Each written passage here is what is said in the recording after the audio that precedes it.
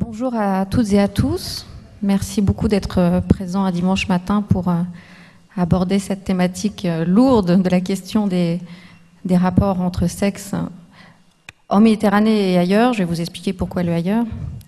Euh, je voulais d'abord vous, dire que j'étais très heureuse euh, d'être euh, aujourd'hui la médiatrice pour cette table, non seulement parce que pour avoir l'habitude de venir aux rencontres d'Averroès, je sais que vous êtes un public rare, hein, euh, rare dans, le bon sens du terme, c'est-à-dire euh, très à l'écoute et très en, en, demande de poser des questions, donc c'est agréable pour, euh, pour nous.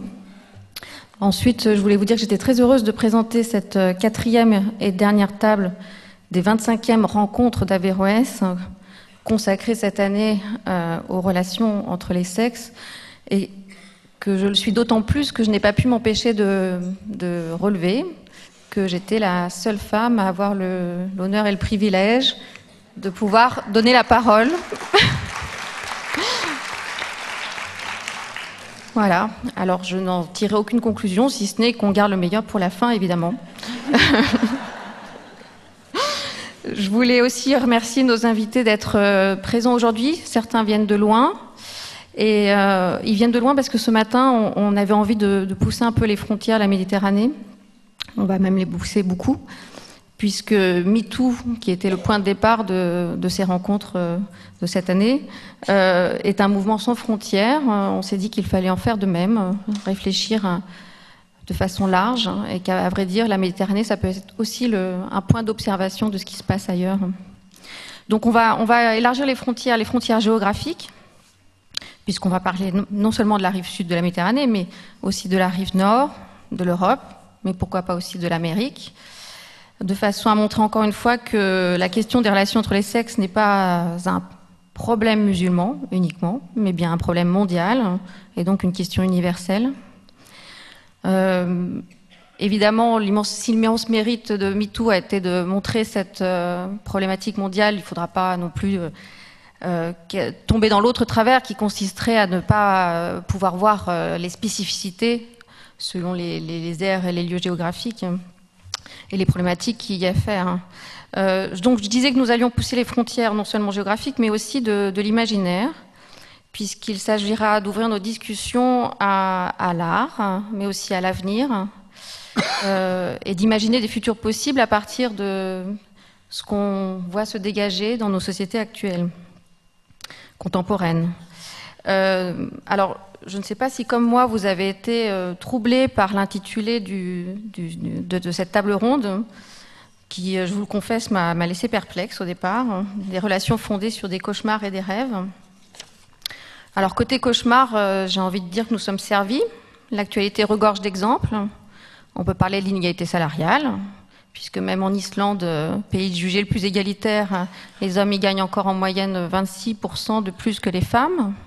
On peut parler du harcèlement, du sexisme quotidien. On a déjà parlé ici des crimes d'honneur, des féminicides en France, puisque nous y sommes. Pour rappel, c'est une femme tous les trois jours tuée sous les coups de son mari ou de son ex-compagnon. En France, toujours d'après l'INSEE, chiffre de 2017, ce sont 254 femmes victimes de viol ou de tentatives de viol chaque jour. Et 1% seulement des viols sont condamnés par la justice. Ce sont les chiffres de l'INSEE, hein, pas des chiffres d'une association X. Euh.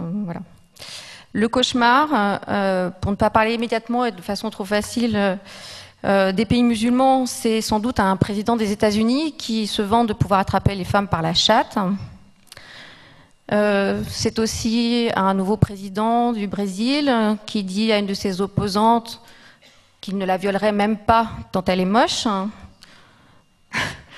qui également pour parler de la naissance de son cinquième enfant, qui se trouve être une fille, après quatre garçons, dira qu'il a eu un moment de faiblesse. Et qui ajoute qu'il préférait d'ailleurs tuer son propre fils plutôt que de le savoir homosexuel. La question du genre est donc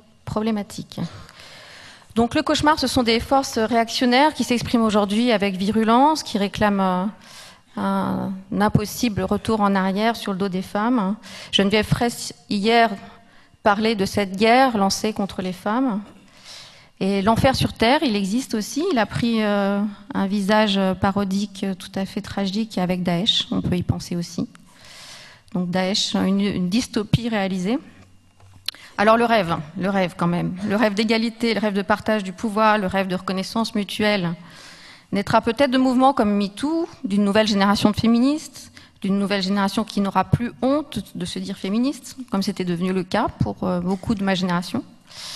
Euh, le rêve, c'est peut-être ces nouvelles figures de femmes qui s'emparent de la politique. On a vu dans cette Amérique de Trump dont je parlais tout à l'heure comment lors des dernières élections, euh, des femmes ont réussi à accéder à des postes de pouvoir. La suite nous dira si c'est un rêve qui peut s'accomplir ou pas. Mais passons tout de suite à, nos échanges. Je propose euh, donc de faire un premier tour de table pour tenter de dégager quelles sont les grandes lignes de force actuelles que que vous voyez les uns et les autres, les unes et les autres, sur la question du rapport de genre. Et on va commencer notre voyage euh, au sud de l'Europe, en Espagne, puisque nous avons l'honneur de recevoir aujourd'hui la cinéaste catalane, si je ne m'abuse, Judith. Très bien. je me suis exercée depuis deux jours pour dire son nom correctement. Je, vais, donc, je présenterai les invités les uns après les autres durant ce premier tour de table. Donc, Judith, vous êtes euh, euh, l'auteur de nombreux films maintenant, dont on peut retenir entre autres Elisa K, euh, pour lequel vous avez remporté le prix spécial du jury euh, au Festival international de Saint-Sébastien, euh, et qui racontait l'histoire d'une petite fille abusée par un ami de son père. Vous êtes également directrice à la faculté de, communication audiovisuelle de Blanquerna à, à, Barcelone. Et vous avez aussi fondé, il y a une dizaine d'années, l'association des femmes cinéastes en Espagne. Euh, Judith, j'avais envie de commencer avec vous parce que l'Espagne euh, en Europe est considérée comme un pays pionnier, en ce sens que dès le début des années 2000, euh, s'est exprimée une parole revendicative des mouvements féministes très forte, avec des manifestations importantes et qui portaient prioritairement sur les violences domestiques, les violences dans le couple. Et euh, on dit l'Espagne pionnière parce qu'elle a aussi abouti à des lois qui ont euh, été euh, établies en 2004. Et j'aimerais, si vous êtes d'accord, faire que vous nous présentiez un petit peu, faire, faire, un état des lieux de ce qui se passe en Espagne depuis quelques années et d'aujourd'hui. Oui, bien sûr. Merci, Marie. Nous commençons aussi avec lequel il parle le, plus mauvais français, alors ne vous inquiétez pas, les autres vont parler mieux que moi. Je vais essayer de parler douce parce que sinon, avec mon accent, peut-être ça serait difficile de me comprendre. Ah, oui, nous avons une loi organique. Bon, dans l'Espagne, nous avons une très grande force féministe. Euh, il y a un mouvement très grand de féminisme. Euh, et ça, on peut le voir dans la société en général et aussi dans, les, dans le monde du cinéma. C'est pour ça que nous avons fondé cette association de femmes euh, cinéastes. Mais on va commencer par le début. Euh, il y a eu une loi organique euh, les 2000, à la finale de 2004, le 28 décembre, qui a commencé le 2005,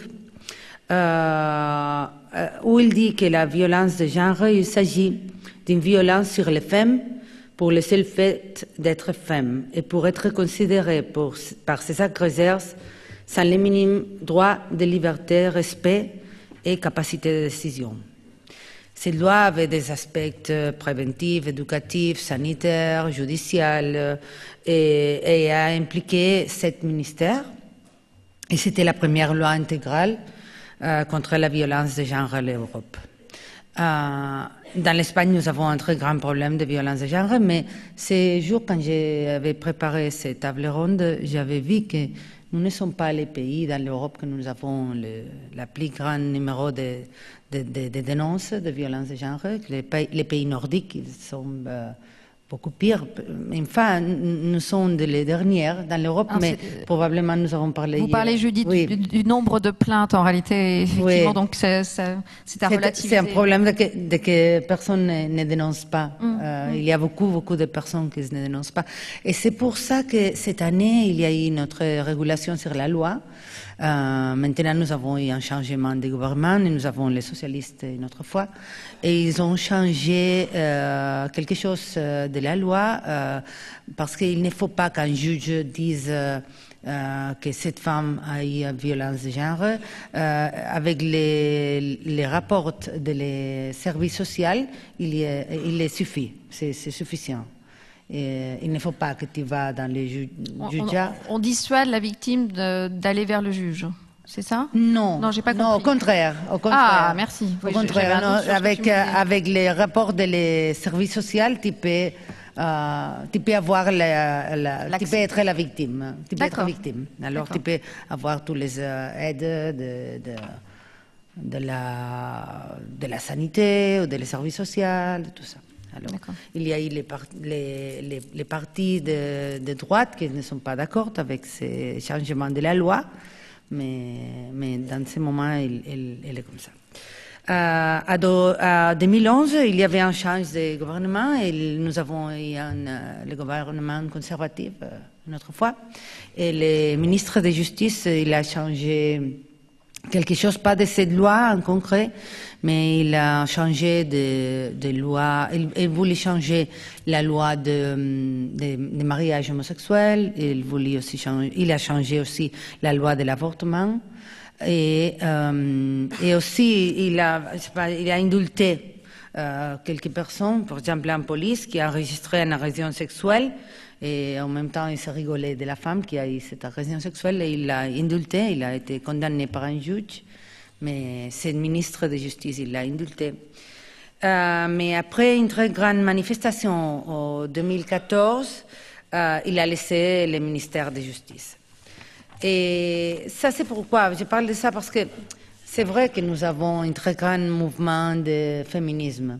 Quand il y a eu cette, euh, euh, cette rétrocès dans la loi de l'avortement, il y a une très grande manifestation dans toute l'Espagne et aussi nous, les cinéastes, nous avons organisé un, euh, film, un documentaire euh, euh, nous avons filmé les différentes parts de l'Espagne où il parle des trains, les trains pour aller à Madrid à la grande manifestation. Et cet euh, documentaire s'était appelé, et vous pouvez le trouver dans l'Internet, euh, Les trains de la liberté.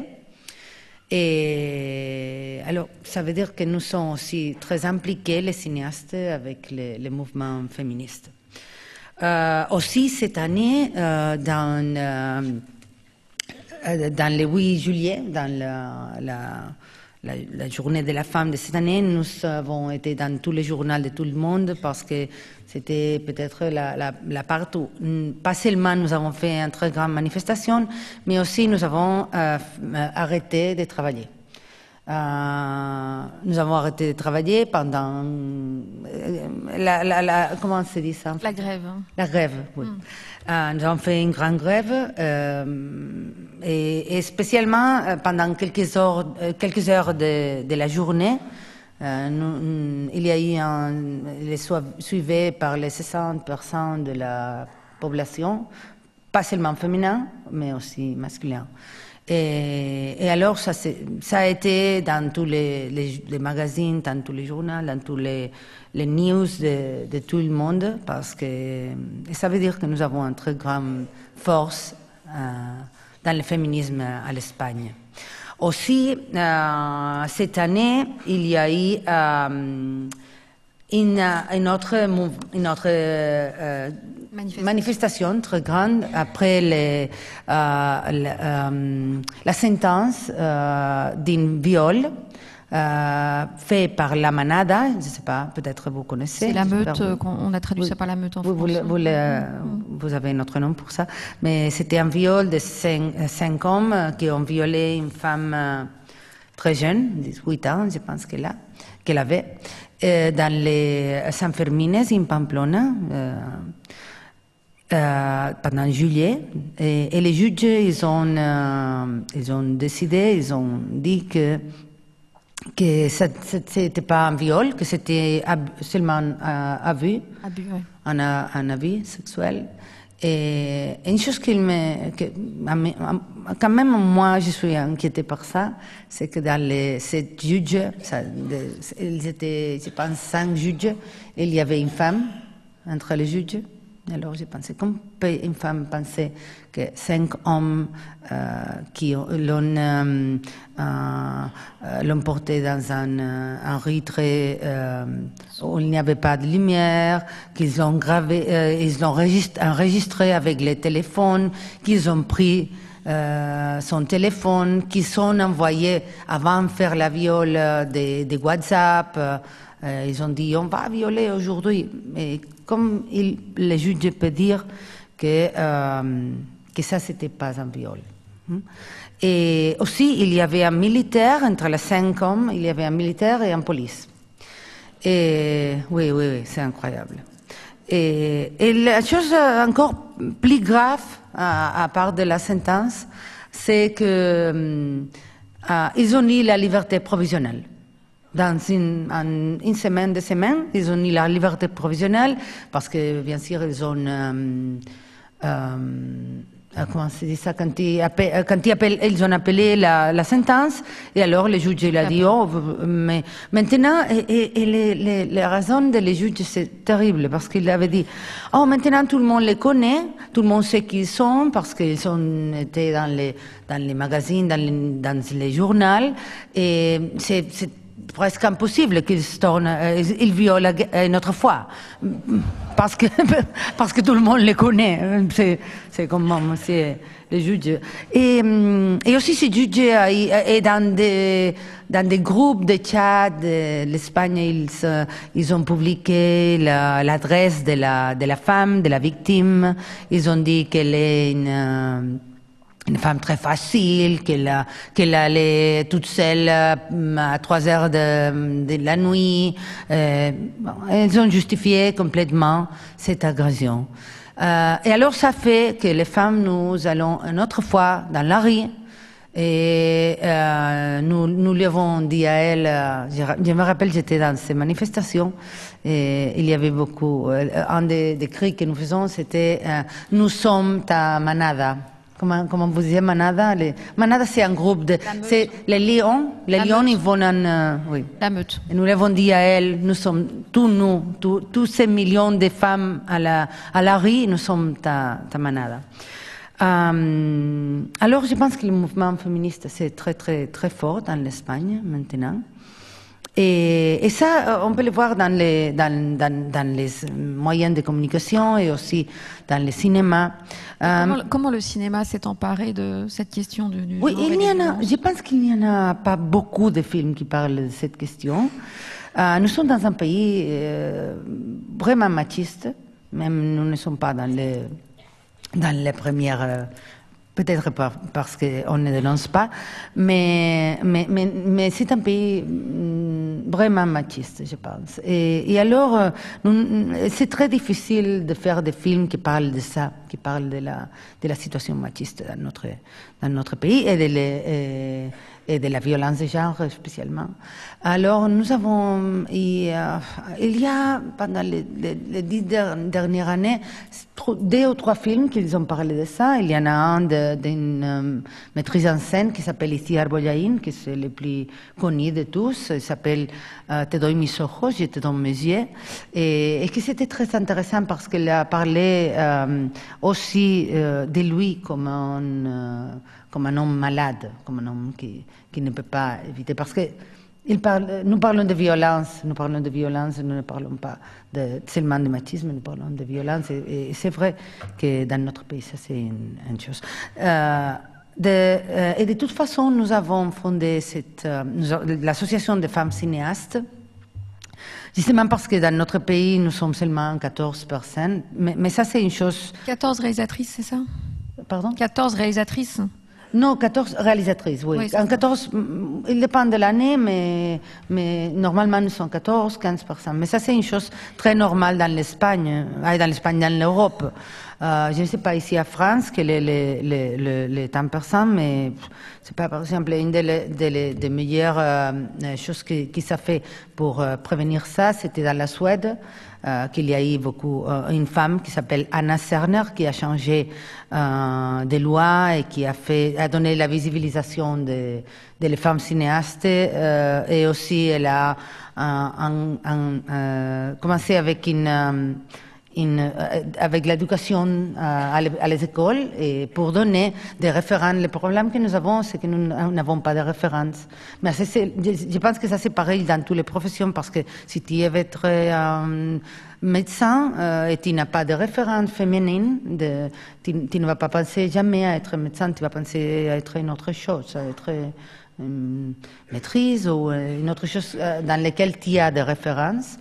Et, et, alors, ça, c'est, ça, c'est un très, très grand problème que nous avons. Les femmes manquent de référents féminins. Oui. Que, je, catégorie. Oui, parce que dans la faculté de, de communication audiovisuelle, dans ma université, euh, il y a 60%, 70% de, de, femmes dans la classe. D'étudiantes Ou d'étudiants, oui, d'étudiants de, de, de, réalisation. Et après, elles ne elles, elles quand, quand, on les voit dans la, dans la profession, elles ne soient pas réalisateurs, réalisatrices, elles sont des autres choses, euh, éditeurs, ou peut-être. Euh... Et alors justement, Judith, vous avez créé il y a une dizaine d'années cette, oui. euh, cette mm -hmm. association. Cette Quelle... association qui s'appelle CIMA. CIMA. Oui. et nous avons fait beaucoup de changements. Nous l'avons créée parce qu'il y avait un projet que euh, qu'une multinationale, je, je pense que c'était Nestlé, ou je sais pas, quelle multinationale, elle avait fait un projet que c'était euh, cinq euh, metteurs en scène qui, qui vont autoriser cinq jeunes metteurs en scène. Hein? Cinq metteurs en scène très... je ne me rappelle pas la, parole en, en, catalan en espagnol, très reconnus, oui c'est ça, euh, qu'ils vont autoriser cinq jeunes metteurs en scène. Et, et, et, et, ils sont 5 ans, et 5 ans aussi, ils sont 10 ans qu'ils qu ont fait ça. Et alors, quand nous, les femmes cinéastes, nous avons dit hey, pourquoi est-ce qu'il n'y a pas une femme ici, euh, entre les plus reconnus ou entre les plus jeunes Ils nous ont dit il n'y en a pas. Il n'y en a pas, et nous avons pris cette, euh, cette phrase il n'y en a pas, il n'y en a pas de femmes, il n'y en a pas, il y en a beaucoup de femmes. Et alors, une autre chose qu'ils nous disent tout le temps est vous, n'êtes pas si médiatique. Ça, c'est une autre chose de laquelle j'aime beaucoup. Ils nous disent trois choses spécialement. Il n'y en a pas, vous n'êtes pas médiatique. Et aussi, euh, oh, nous les avons téléphonés, mais elles ne veulent pas participer. Non, ça, c'est pas, ça, c'est pas vrai. Euh, nous sommes très consciencieux, tous nous, les femmes cinéastes. Nous, y sommes, nous sommes là. Nous sommes là, il y en a beaucoup. Et, et peut-être nous ne sommes pas si médiatiques que les hommes, mais ça c'est parce que quand il fait une uh, interview dans les, ou, une, uh, ou, ou, quelque chose, un film, un film, uh, un groupe, quelque, et, il s'oublie complètement de les femmes. Alors on ne peut pas être si médiatique que les hommes s'ils ne nous donnent pas l'opportunité d'être dans les magazines, ou dans les, les journaux, ou dans la télévision, etc., ou d'avoir beaucoup plus de, de budget. Alors cette association, nous sommes au début nous, nous soyons seulement des metteurs en scène. Maintenant, il y a des actrices, il y a des, productrices, des, productrices, des, des scénaristes, de, tout, euh, aussi des, professions qui ne sont pas, euh, qui sont très masculines, comme les, les, directions de photographie, la photographie, les caméras ou les sons ce sont des, professions que je ne sais pas pourquoi, mais sont très, très, très masculines, masculinisées quand même. Euh, et maintenant, nous avons changé beaucoup les choses. Quand même, euh, CIMA, l'association de femmes cinéastes, elle est, euh, quand on doit disputer, euh, parler de la nouvelle loi de cinéma, nous sommes là. Quand nous devons donner les prix nationaux de cinéma, nous sommes là aussi. Et nous avons changé beaucoup les choses. Merci Judith. Donc on, voit que le cinéma commence à bouger et on, l'a vu aussi avec quelques films euh, au Maroc. Justement, on a entendu parler de films comme Much Loved euh, qui ont défrayé la chronique. Euh, Sana Elagi, j'ai envie de vous donner la parole à présent. je vais vous présenter en quelques mots. Vous êtes docteur en sociologie. Vous êtes une brillante journaliste qui est très connue au Maroc. vous avez créé, pas plus tard que cet été, un, un nouveau magazine en ligne et en arabe qui s'appelle Marayana et qui traite des sujets de société euh, très actuels, dont euh, pour beaucoup des sujets qui ont attrait à la question de, la sexualité et, du genre. Hein. Euh, parce que vous les considérez sans doute trop peu ou mal abordés dans les autres médias. pour ma part, je vous avais découverte grâce à l'écrivaine Laila Slimani, qui vous avait consacré un chapitre dans son livre Sexe et mensonges sur la vie sexuelle au Maroc. Et euh, si j'en parle, c'est que vous avez vous-même écrit un, livre euh, issu de votre thèse de sociologie, qui était l'aboutissement d'un travail euh, long de six années sur, les gros tabous du Maroc, sur les mœurs, les pratiques de la sexualité au Maroc. votre livre s'appelle Sexualité et célibat au Maroc, pratiques et verbalisation. Il a été publié au début de l'année, si je ne m'abuse. L'année dernière. L'année dernière. septembre 2017. D'accord. Et il a rencontré un très fort écho auprès de, du public euh, marocain qui, euh, tout en faisant d'un tabou ce sujet, euh, est très demandeur d'en discuter, en, réalité. vous, allez sans doute nous parler de tous les paradoxes que vous avez pu révéler dans, à travers ce livre. mais j'avais envie de vous poser une toute première question qui est, je pense, une question de curiosité pour tous, qui, est à savoir quelle a été la réception du mouvement MeToo, euh, alors au Maghreb, mais vous allez me parler plus particulièrement du Maroc, d'où vous parlez. Quels sont les nouveaux mouvements de mobilisation de femmes aussi euh, Voilà. Merci euh, Marie. je vais effectivement commencer par, par la question du harcèlement sexuel et par la réception du mouvement MeToo. Euh, et on a eu la, désagréable surprise de découvrir que malheureusement que c'était un cauchemar universel pour rester dans le titre de, la rencontre et que ça concernait pas effectivement euh, uniquement euh, les, les, sociétés qui subissent ce qu'on appelle aujourd'hui une misère sexuelle. Et ça me fait penser à ce qu'on a dit pendant la préparation de cette rencontre, parce que très souvent quand on parle des agressions sexuelles dans les pays à majorité musulmane, on a tendance à lier ça à la frustration sexuelle, qui est effectivement là, qui a forcément des impacts, mais ce n'est pas la seule, ou ça ne serait pas la seule explication, parce que si une misère sexuelle est là, elle est forcément vécue par les hommes et les femmes. Sauf que les actes d'agression sexuelle sont souvent euh, le fait des hommes. Et donc, euh, oui, les, les, frustrations sexuelles, la misère sexuelle a un impact sur les relations entre les sexes dans les pays conservateurs, les pays à majorité musulmane, mais ce ne serait pas, ce ne serait certainement pas la seule explication. Après, la grande observation, à mon sens, par rapport à, à, ces revendications ou dénonciations des actes de harcèlement sexuel, c'est que je parlerai peut-être plus du Maroc que du Maghreb de manière générale. Euh, on est encore malheureusement dans la, la culture de de la victime blaming, c'est la responsabilité de la femme.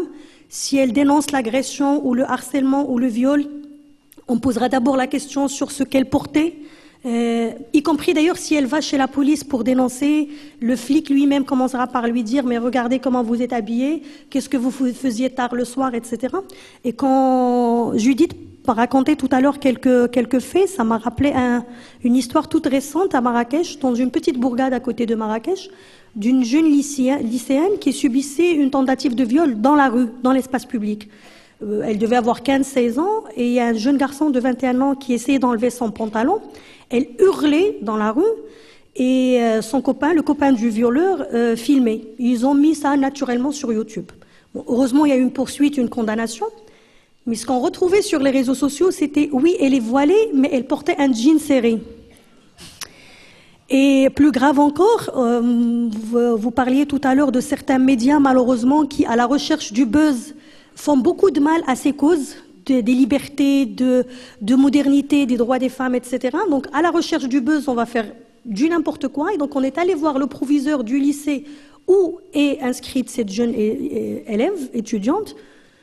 Et le proviseur, en montrant ses fiches scolaires avec la photo, le nom, l'adresse, etc., nous disait elle est paresseuse, elle est déjà redoublante. C'est comme si le fait qu'elle soit redoublante fasse qu'elle mérite d'être agressée ou d'être violée. Dans l'affaire du bus à Casablanca, il y a un an et demi, elle a été assez médiatisée. Peut-être que certains parmi vous ont suivi cette affaire. Encore une fille qui se fait agresser par plusieurs jeunes garçons dans un bus et des médias. C'est pour ça que la responsabilité des médias dans ce genre de débat est quand même très très importante. Des médias sont allés interviewer les voisins des violeurs, des agresseurs, qui leur ont dit de toutes les manières, elle n'est pas vierge. C'est comme si voilà, elle n'est pas vierge, donc c'est pas grave. Euh, et puis, euh, apparemment, elle a le sida, et donc c'est les agresseurs qui deviennent victimes, parce que les pauvres, elle va leur transmettre le, le sida. Première question, c'est quelle légitimité scientifique a le voisin pour me dire qu'elle a le sida ou pas? Et puis, quel est le sida ne justifie pas qu'elle a été victime de cette, euh, de, de cet acte de violence. Mais malheureusement, et je reviendrai à ce que je disais tout à l'heure, malheureusement, le mal est universel, on l'a vu cette semaine. Un violeur en Irlande a été innocenté parce que la victime portait un string. Et ça se passe malheureusement en Irlande. Là, c'est pas l'Afghanistan, c'est pas l'Égypte, c'est pas, c'est pas le Maroc. Et si vous permettez, je voudrais, euh, je ne sais pas si vous avez entendu parler ou regardé un film documentaire réalisé par des journalistes français qui s'appelle Les Croisés contre-attaque. C'est un documentaire réalisé par deux journalistes françaises, Alexandra Jousset et Andrea Gaston, que je vous invite, que je vous recommande vivement de, de regarder. Il a été produit en 2017 et il est consacré à la problématique de l'IVG. Mais je vais en parler parce que pour moi, il pose pas seulement la question de l'IVG, mais toute la problématique des relations entre les, les sexes et, le rapport à la femme et au corps de, la femme. C'est une enquête qui a été réalisée dans différents pays européens. France, Italie, Portugal, Espagne, mais aussi aux États-Unis, en, en, Russie. Et on voit que euh, partout en Europe, euh, L'IVG est la cible des croisés qui aujourd'hui euh, ne sont plus dans un discours euh, traditionnel conservateur. Ils modernisent leurs outils de communication. ils utilisent parfois, ils usurpent même le langage des féministes et des droits humains pour, pour l'utiliser afin de servir leur, cause. Ils font un énorme lobby, lobbying au niveau du Parlement européen, mais aussi des parlements des, différents pays. Et, ce, docu ce, documentaire euh, fait ressortir, à mon sens, deux points importants. D'abord, euh, le fait que les combats sur les questions identitaires et les questions liées au, au choix individuel, donc tout ce qui est euh, IVG, euh, contraception, la maternité choisie, l'homosexualité, etc., ne sont jamais des combats gagnés de manière définitive. Et dans ce film, on voit d'ailleurs le cas de l'Italie, où le droit à l'avortement est un droit acquis par la loi depuis 1976, mais aujourd'hui, tenez-vous bien, 70% des gynécologues imposent l'objection de conscience. Et donc voilà, pour une femme italienne, le droit à l'avortement est acquis, mais encore faut-il pouvoir le mettre en pratique et des femmes se retrouvent à avoir des rendez-vous dans cinq mois ou dans six mois. Euh, et dans ce même euh, do documentaire, on voit des documents internes d'une des organisations qui militent contre, contre l'IVG, qui disent que euh, on va commencer par l'avortement pour par la suite passer à l'homosexualité, au divorce, à la contraception, etc. Et donc ce n'est pas parce qu'aujourd'hui en France, aux États-Unis, au Maroc, on a pu acquérir certains droits qu'il euh, y a le confort qui va, qui va avec. Le deuxième point qui ressort de ce film pour moi, et c'était presque un, choc parce que, mine de rien, euh, on a parfois des préjugés les uns sur les autres, l'Occident sur les pays du Maghreb, le Maghreb sur l'Occident.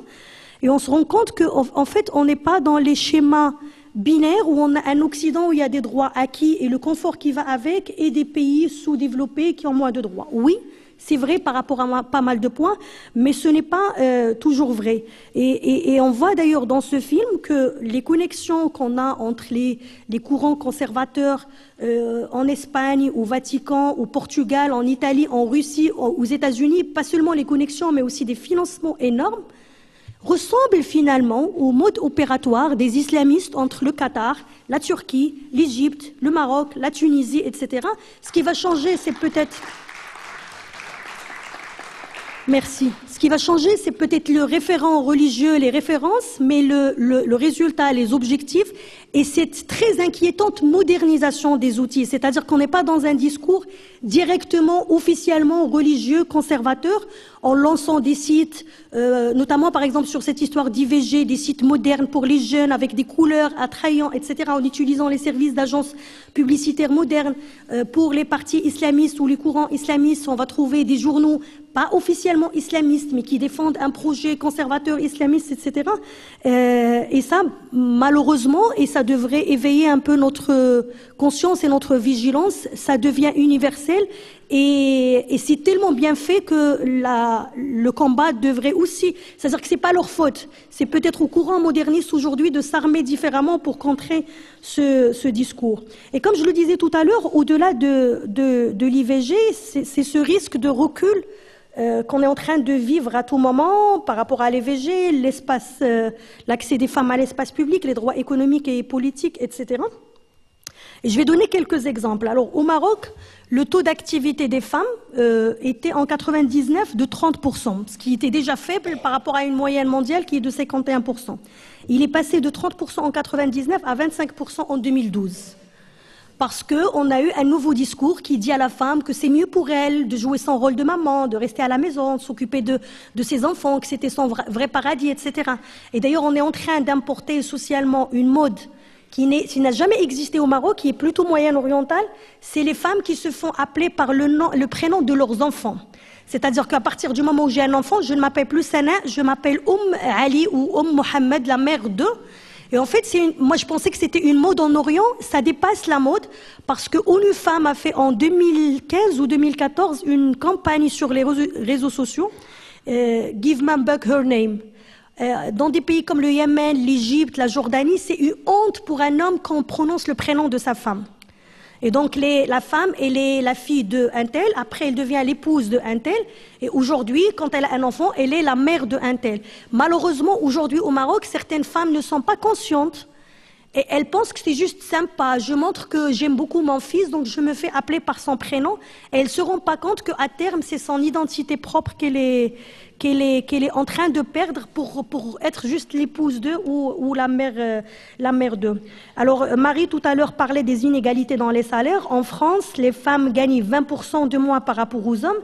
Et plus on progresse dans l'échelle des salaires, plus l'écart est important. on parlait aussi tout à l'heure des violences. Euh, selon le HCP, qui est le Haut Commissariat au Plan au Maroc, l'organisme officiel des statistiques, six femmes qui ont entre 10 et 64 ans 6 sur 10 ont déjà subi au moins une forme de violence. 55% de la part du mari et seulement 3% déclarent. Alors le débat est faussé dans des pays comme le Maroc, parce que dès qu'on parle des violences, des viols, etc., on va nous sortir des chiffres en Irlande, en France, en Espagne, pour dire qu'il y a plus de viols en France qu'au Maroc. Mais c'est juste que 3% des femmes au Maroc déclarent les viols, et donc ça pose toute la problématique dont vous parliez tout à l'heure des déclarations. Euh, le, les féminicides, euh, oui. Non, non, j'allais. Je vous parlais des, féminicides. Alors tenez-vous bien, en Belgique, en 2018, les féminicides ont tué plus de personnes, de femmes, que le terrorisme. 25 euh, femmes en 2018, sachant que 2018 n'est pas encore terminé, euh, et 39 en 2017. Loin de moi l'idée de vouloir banaliser le terrorisme, mais regardez, on parle des médias des victimes du terrorisme qui ont, oui, besoin de notre compassion, de notre solidarité contre les, actes de terrorisme. Mais pourquoi on ne parle pas suffisamment du féminicide et des victimes du féminicide? Parce que très souvent, on va considérer que c'est une affaire personnelle. C'est dans une famille. Ça ne concerne pas l'opinion publique. Pourquoi on va, euh, on va en débattre? Je reviens rapidement peut-être sur la question de l'avortement au Maroc. Bien évidemment interdit légalement, mais les chiffres de l'Association marocaine de lutte contre l'avortement clandestin parce que comme c'est interdit, ben, les femmes qui veulent avorter ont forcément recours au circuit clandestin, médical ou non médical. Alors dans le circuit médical, 600 à 800 avortements par jour et dans le circuit non médical, environ 200 avortements par jour, avec tous les impacts par la suite sur la santé, sur la santé reproductive des femmes, euh, etc. Et bien évidemment, on interdit euh, l'avortement couvert religieux, euh, social, culturel, etc. Mais on fait subir uniquement à la femme les responsabilités, soit en allant, en étant obligé de suivre un avortement dans les circuits euh, informels, soit par la suite, quand elle va donner naissance à cet enfant, elle est mère célibataire, et on va remarquer que la notion ou le concept même de père célibataire n'existe pas. Alors qu'à moins qu'elle soit la Vierge Marie, si elle a donné naissance à un enfant, c'est qu'il y a forcément un père qui a eu une relation sexuelle avec, euh, avec elle. Alors, euh, l'effectif des mères célibataires au Maroc entre 2003 et 2009 est de, ça c'est les femmes qui n'ont pas avorté, qui ont quand même donné naissance à au moins un enfant hors mariage par la suite. 210 434 mères. Euh, mères célibataires entre 2003 et, et, 2009. On va bien évidemment mobiliser l'argument religieux parce que c'est haram, parce que c'est interdit d'avoir une sexualité, de faire des enfants hors mariage, mais c'est un argument religieux qui est en théorie censé s'appliquer aux hommes et aux femmes, mais dans les pratiques, dans les faits, qu'on va appliquer uniquement euh, aux hommes. Bon, ça traduit le fait que, interdite ou pas, une sexualité hors mariage existe bien, malgré le tabou qu'on veut, euh, qu'on veuille mettre à cette sexualité. Mais encore une fois, on va mobiliser des références culturelles, religieuses, conservatrices pour les appliquer uniquement aux femmes, mais pas suffisamment aux hommes. Je parle beaucoup. Oui, mais bien. Je l'avais prévu. Sana, juste avant de, céder le micro à Mohamed Kassimi, euh, je, vous posais la question de savoir quels étaient les, mouvements de mobilisation qui réagissaient vis-à-vis de tout ce que vous dénoncez aujourd'hui. Euh, on a parlé euh, de façon allusive hier de, de Massactache. Je, ne me tais plus. J'aimerais bien que vous nous en disiez un peu plus. En fait, le, mouvement MeToo a, a, eu plusieurs petits-enfants au Maroc avec des déclinaisons différentes. Le, la plus récente, c'est Massactash, je ne me tais plus ou je ne vais plus me taire. Euh, c'est en fait comme les filles se font siffler dans la rue, donc l'idée de quelques acteurs de la société civile était de donner des sifflets carrément aux femmes qui, quand elles se font agresser dans la rue, vont siffler. Et donc ça va contribuer à orienter la honte vis-à-vis plus par rapport aux, agresseurs qu'aux femmes victimes. Il y a eu un autre mouvement il y a quelques mois, c'est l'été je pense, la rue est à nous, parce que l'un des, arguments qui sort dans les cas de violence et de harcèlement, c'est que euh, qu'est-ce qu'elle faisait dans la rue tard le soir, pourquoi elle était habillée comme ça, etc. Et c'est que de manière inconsciente, on a intégré le fait que la place véritable de la femme est, dans la maison. Et d'ailleurs, je m'intéresse beaucoup à la verbalisation, euh, y compris dans, le livre, la verbalisation de la sexualité, etc. Et sur la question de l'espace public, dans l'imaginaire marocain, une fille bien, comment on l'a dit, on dit bint darhum, c'est la fille du foyer ou de la maison. Et les filles qui sont pas bien ou qui sont des professionnels de sexe ou qui, ne, correspondent pas au référentiel accepté, on va dire zinqa, la fille de la rue. Et donc à partir du moment où une fille va sortir dans la rue, elle est déjà hors norme acceptée par la société. Donc ce mouvement a voulu s'accaparer la rue à nouveau euh, en, s'appelant Zinqadiana. Mais alors c'est en totale contradiction, c'est-à-dire que cette pensée euh, que les femmes devraient être à la maison va en but sur une réalité économique qui est que la plupart des beaucoup de foyers maintenant ont nécessairement besoin du salaire de la femme et donc de l'envoyer dehors travailler. C'est toute la question de la, du décalage entre les pratiques et les réalités sociales euh, et les discours, l'imaginaire collectif. Euh, au Maroc, euh, toujours selon les chiffres officiels, 18% des foyers sont pris en charge uniquement par une femme. 18%, c'est énorme, c'est presque le cinquième. Ajoutant à cela toutes, les, familles ou les, tous les foyers qui sont pris en charge par un homme et une femme, soit le couple, soit un frère et une sœur, etc. Euh, ça pose d'ailleurs la problématique de la question de l'héritage, l'égalité dans, dans, dans l'héritage, mais, mais aussi cette réalité où dans le discours on considère que c'est mieux, le meilleur rôle qu'une femme. D'ailleurs, euh, beaucoup de filles sur Facebook se font appeler Amira fi Beiti Zawji, princesse au foyer de mon mari. C'est, le meilleur rôle qu'une femme. Euh, il y a une femme médecin rabat dans, qui, a, qui a écrit sur sa plaque professionnelle docteur Intel épouse docteur Intel. C'est-à-dire que quand moi je vais la consulter parce que je suis malade, je ne me contente pas de savoir qu'elle est médecin, il faut que je sache qu'elle est mariée aussi à un, médecin. Mais les réalités économiques nous rattrapent effectivement avec tous ces chiffres. Merci Sana. On vous redonnera la parole tout à l'heure. On va laisser aussi des questions au public. Merci.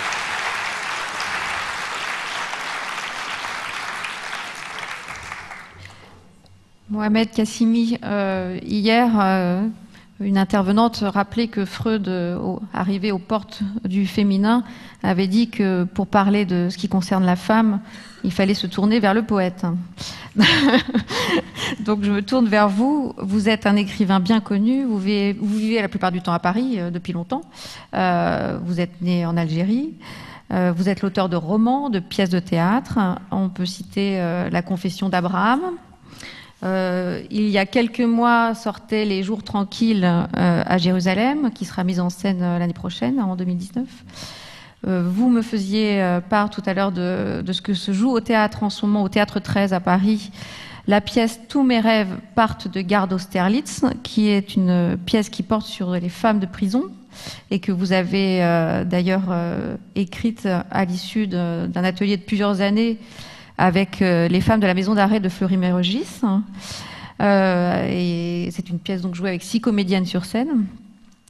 Vous avez aussi écrit, je ne suis pas dans l'ordre chronologique, mais c'est volontaire, euh, L'Orient après l'amour, dont le titre déjà n'annonce rien de très bon. Donc je voudrais que vous nous expliquiez euh, ce titre et pourquoi après l'amour? Est-ce fini? En Orient?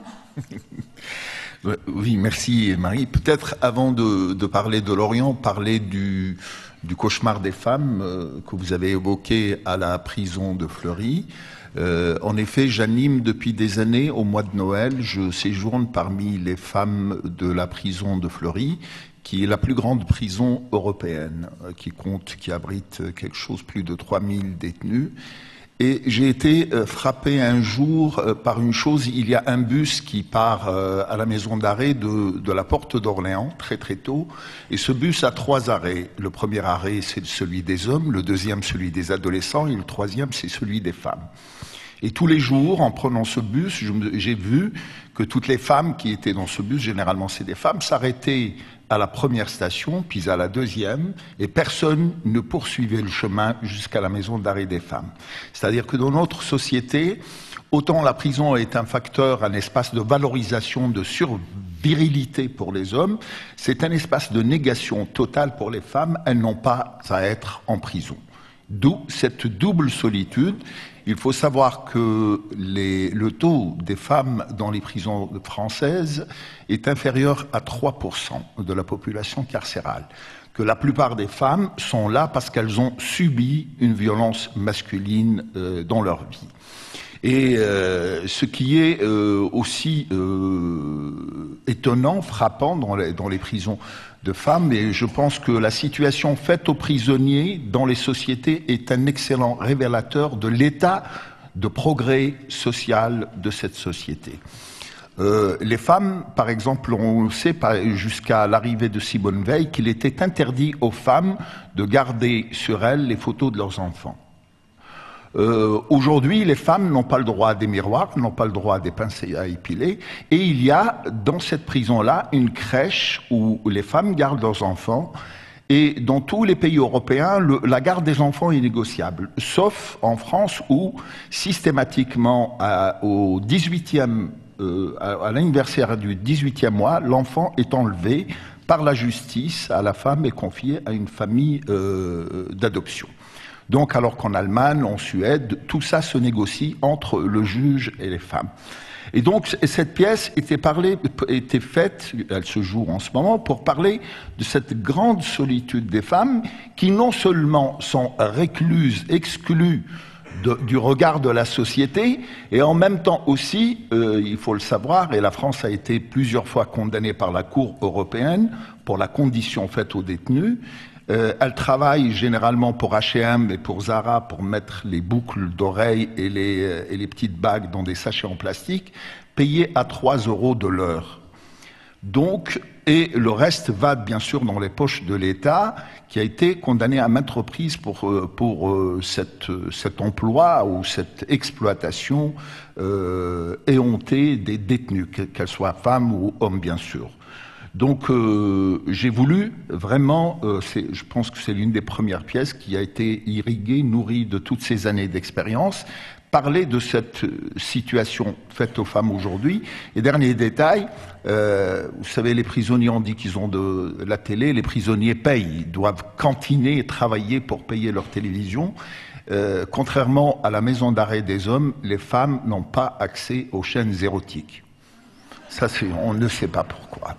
On, pense toujours que la sexualité est une affaire de mecs et que la femme n'a rien à faire là-dedans. Mais de même que euh, Sana a rappelé que la misère sexuelle était effectivement une chose partagée. voilà, donc euh, euh, pour continuer là-dessus sur ce, voyage à, propos des femmes, revenir à L'Orient après l'amour, qui est une sorte que, que j'ai publié grâce à l'amitié et au soutien de Thierry Fabre, qui est là, chez Actes Sud. Et c'est un voyage un peu à travers les pays du Maghreb et d'Orient et le fait d'assister non pas, il y a le réchauffement climatique au nord et puis il y a la glaciation démocratique dans ces pays de la rive sud.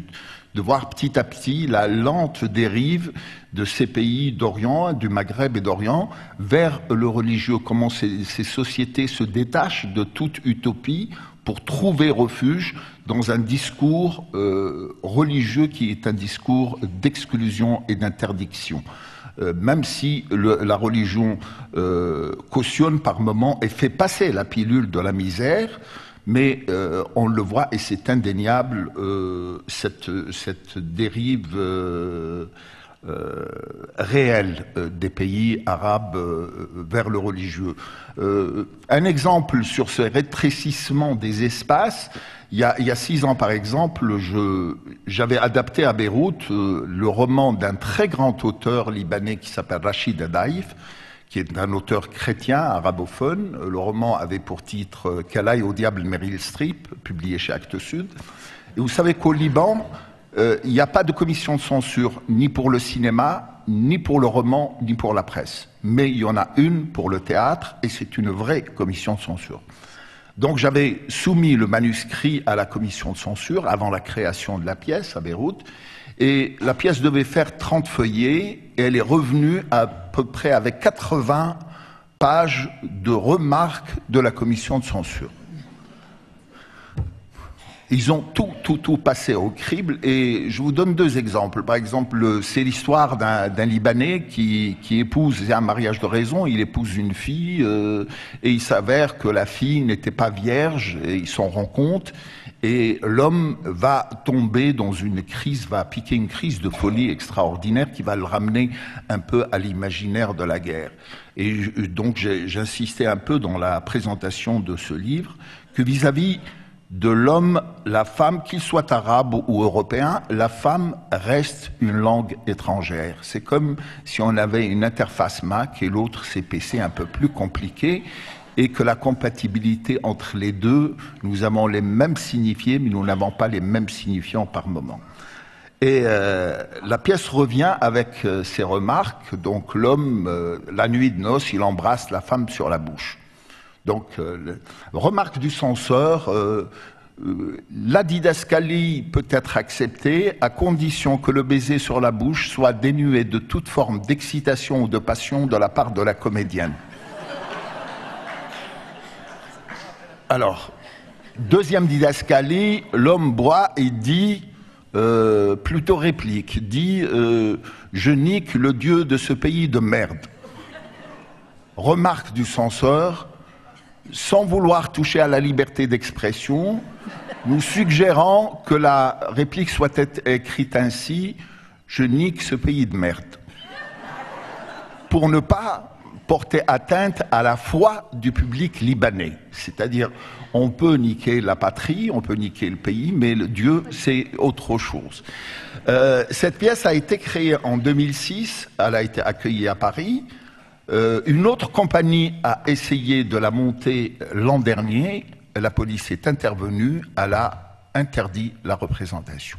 C'est dire que les choses qui étaient possibles il y a une dizaine d'années sont aujourd'hui inadmissibles et inconcevables dans ces pays-là.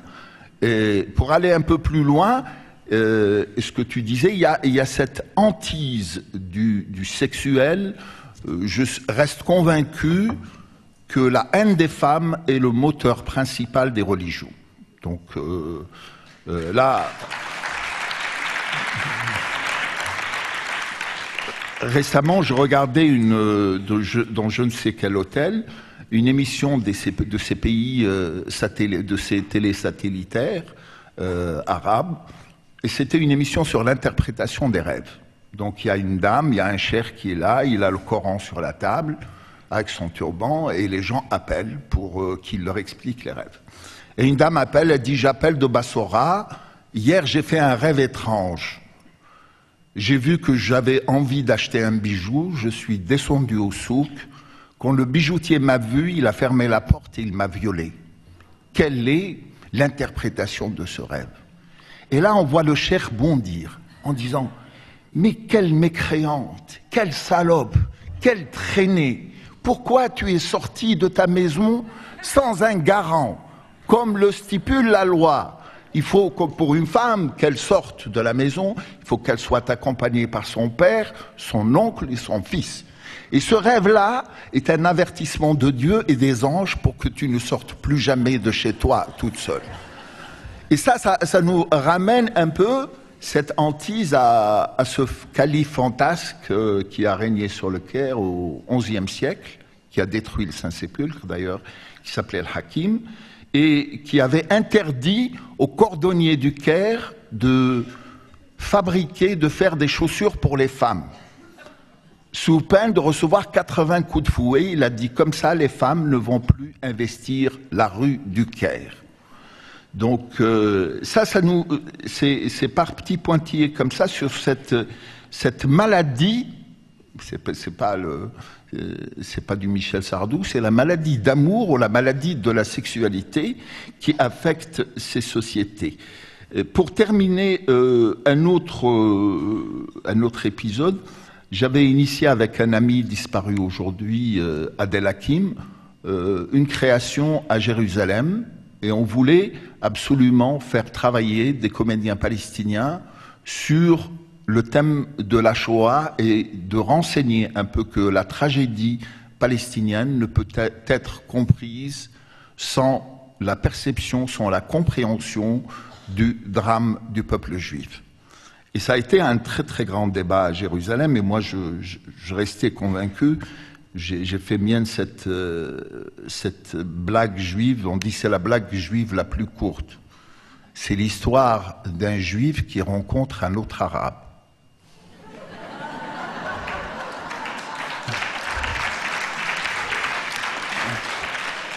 Et, euh, et pendant le, la création de la pièce, il y a eu, euh, j'ai tenu le journal de cette, de cette création problématique. Il y a un moment, euh, le père, le fils d'un Palestinien, va tomber amoureux d'une juive.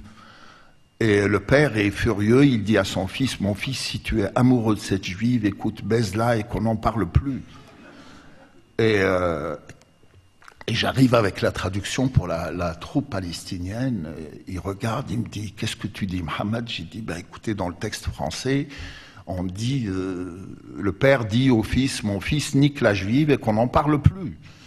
Ils me disent Mais merde, mais tu veux qu'on se fasse assassiner? Un mot comme ça, on ne peut pas l'utiliser. Je dis Mais merde, mais qu'est-ce qui se passe? C'est un mot de tous les jours. Vous ne baisez jamais en Palestine? D'ici, on baisse tous les jours, mais on ne le crie pas sur les toits, comme vous, en France. Et à un moment donné, les comédiens se retirent et ils disent On va te proposer quelque chose. Il se retire pendant deux heures, il revient souriant en me disant Ça y est, on a trouvé le terme qu'il faut, mais qui ne va pas choquer le public, on ne va pas se faire tirer dessus. J'ai dit lequel? Ils disent C'est dépecer. Mon fils, si tu veux dépecer la juive, dépece-la, mais qu'on n'en parle plus. Et c'est plus beau que niquer que tu emploies en français, parce qu'il y a, quelque chose de charnel dans dépecer qui n'existe pas dans l'autre mot. Euh, voilà c'est le parcours de, de, Merci. un peu de pour dire un peu cet euh, rétrécissement de l'espace de liberté et de création euh, auquel on assiste aujourd'hui dans ces pays. Merci beaucoup Mohamed Kassim. Merci.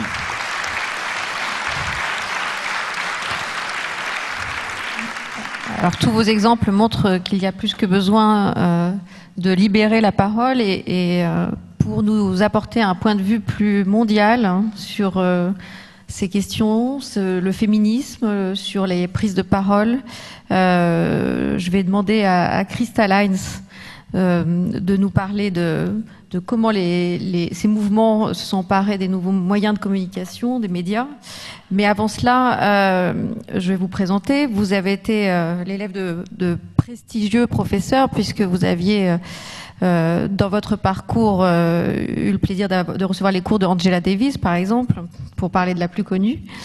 vous êtes actuellement professeur agrégé du département de communication à l'Université de Concordia à Montréal. Vous êtes titulaire de la chaire de recherche canadienne en études féministes des médias et vous êtes aussi directrice d'un laboratoire des médias lié aux questions de genre et sexualité. Euh, je souligne aussi que vous, connaissez bien Marseille puisque vous y avez passé euh, l'année dernière euh, en tant que résidente à, l'IMERA. Peut-être serait-il intéressant, puisque c'était notre point de départ, de, de redémarrer avec MeToo. et comment vous avez observé ce phénomène dans votre propre champ de recherche? Merci Marie et, merci à tout le monde de m'avoir invité. C'est vraiment un, une honneur et un privilège d'avoir pu écouter et entendre la spécificité des luttes euh, dans les territoires euh, différents qui constituent la Méditerranée ces trois derniers jours. Euh, donc moi, je vais, depuis ma position, essayer de penser comment on pense le féminisme à l'échelle du mondial. Et je retourne en fait à la première table ronde à la première table ronde euh, où Sophie Bessis a parlé le premier jour qu'il fallait résister la captation de l'universel par l'occidental, en fait, que l'universel n'appartenait pas à l'occidental.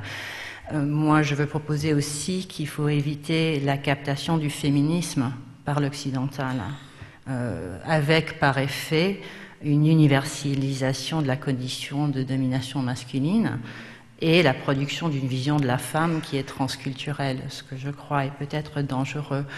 Je crois que l'atout potentiel du féminisme, c'est un atout qui a été vraiment créé par les mouvements et la théorie des femmes de couleur euh, dans le contexte nord-américain, euh, c'est sa précision analytique, hein, ce que Kimberly Crenshaw appelle l'intersectionnalité, c'est-à-dire la relation entre les multiples identités que portent les femmes et les différentes oppressions auxquelles elles font face au quotidien.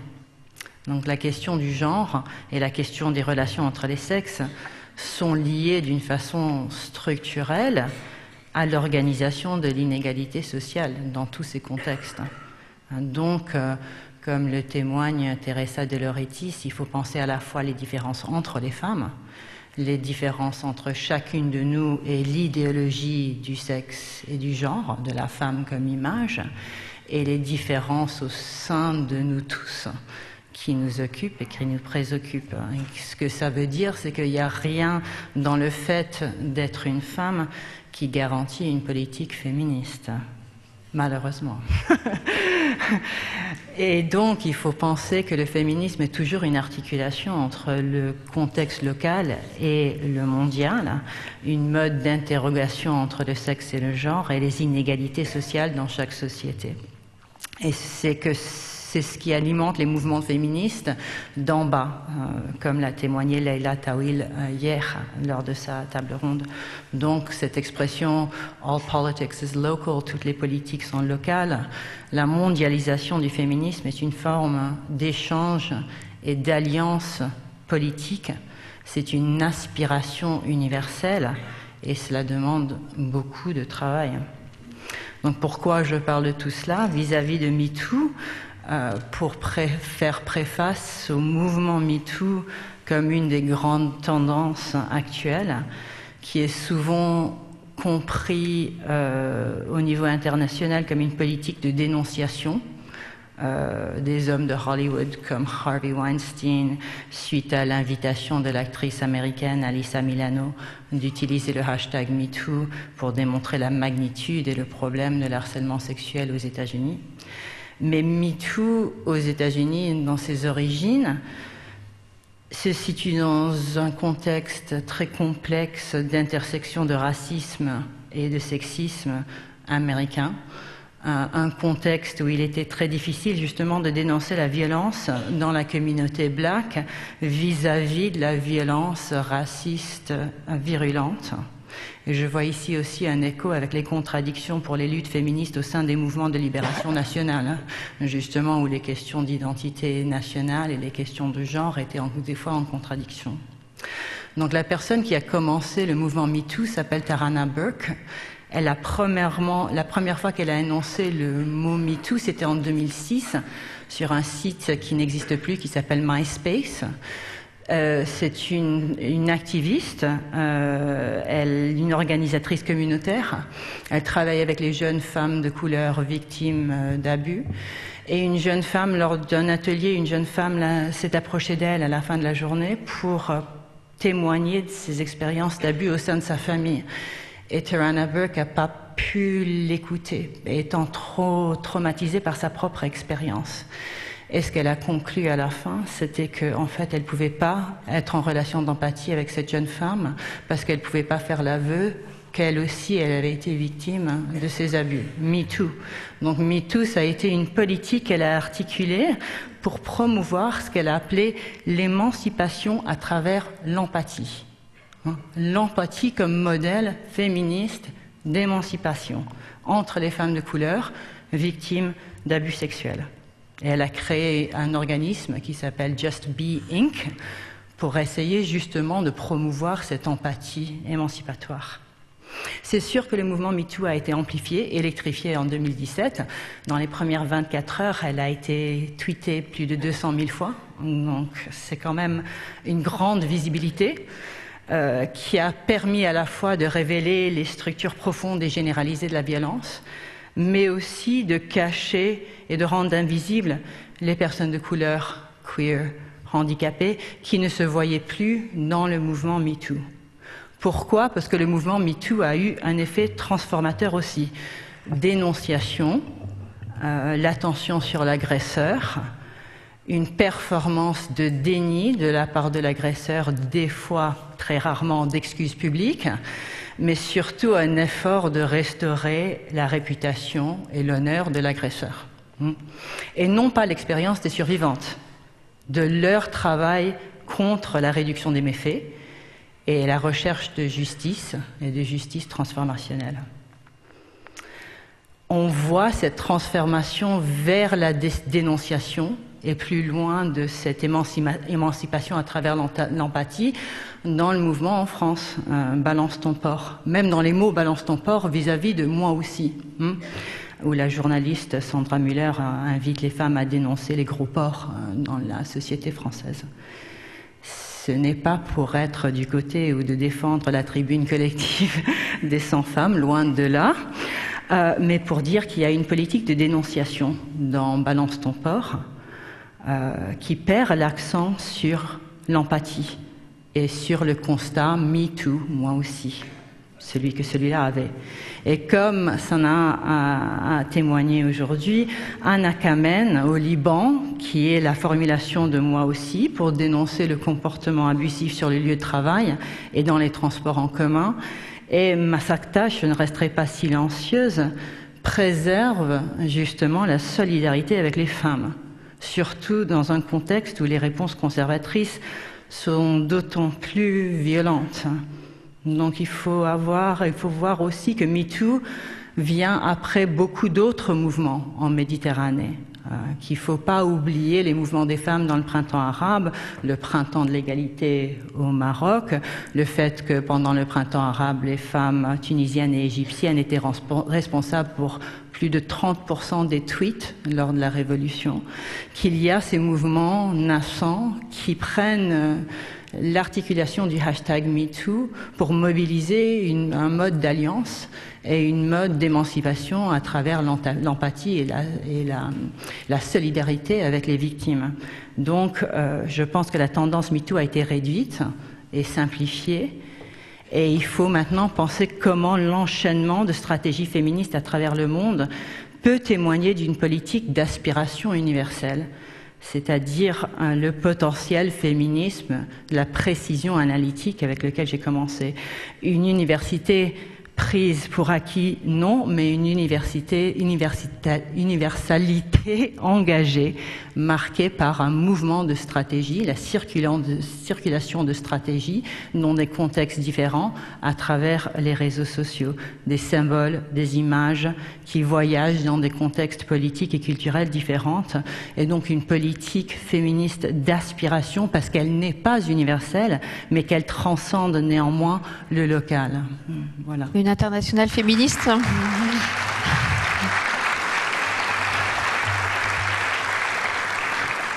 Alors, comme le temps file très très vite, je vais faire un dernier tour de table avec euh, deux petites questions euh, auxquelles je vous demande de répondre très brièvement pour pouvoir euh, céder le micro à la salle.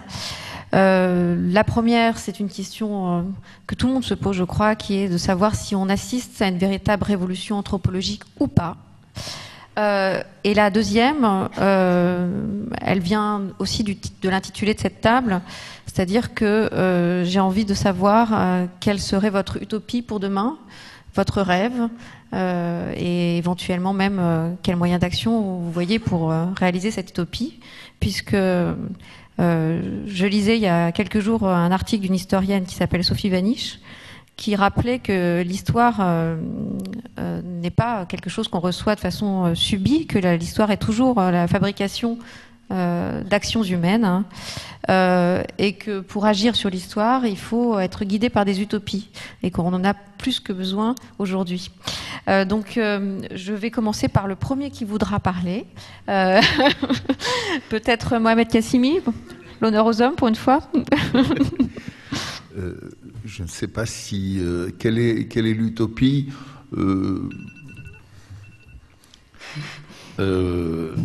Euh, euh, moi, je reviendrai à cette formule de, du rabbin Nachman de Braslav qui disait il est interdit de désespérer.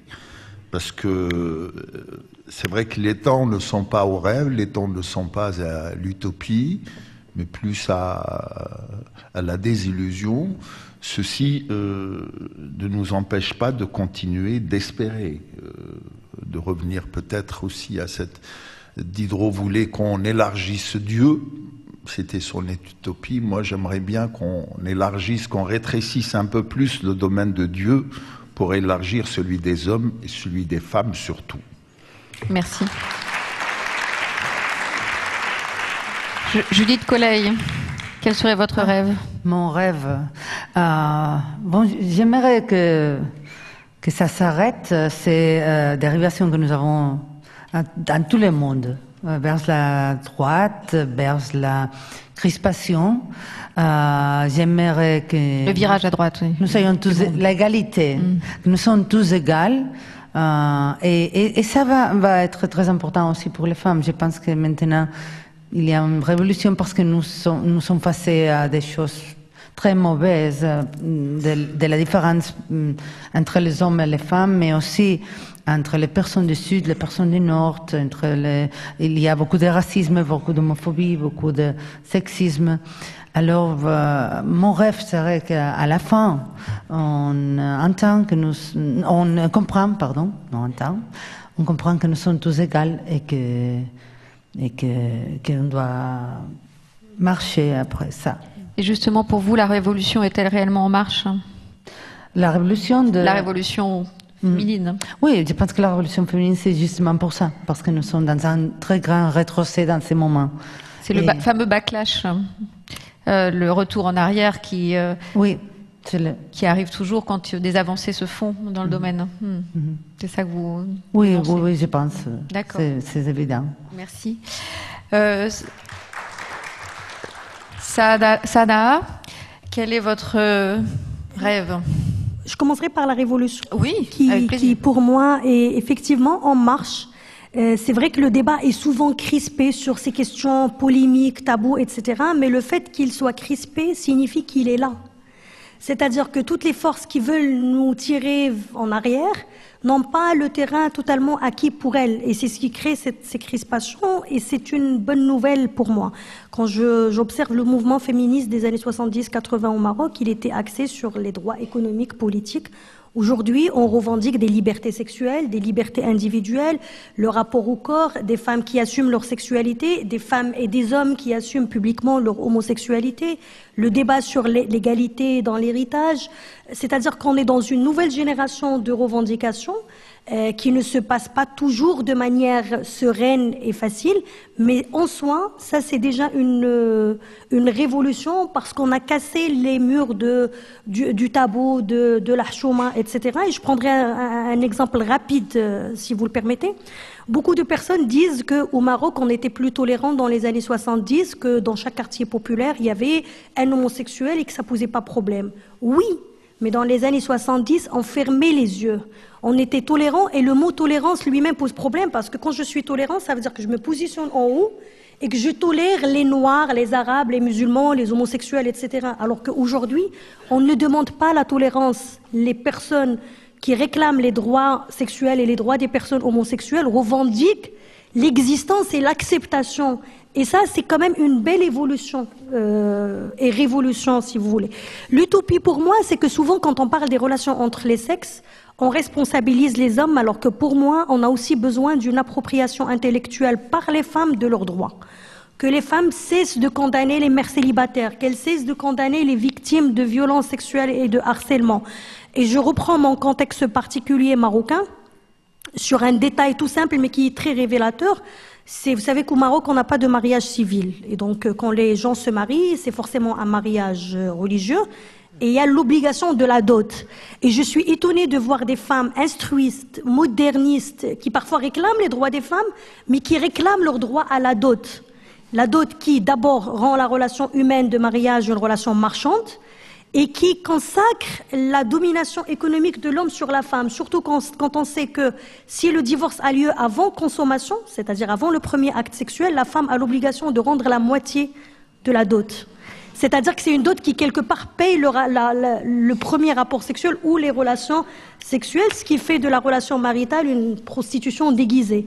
Et quand les femmes ne, ne revendiquent ça comme un droit, entre guillemets, ça, ça pose problème. Donc oui, il y a une responsabilité chez les hommes, mais certaines femmes doivent aussi faire leur propre révolution, et ce serait mon rêve. Merci beaucoup.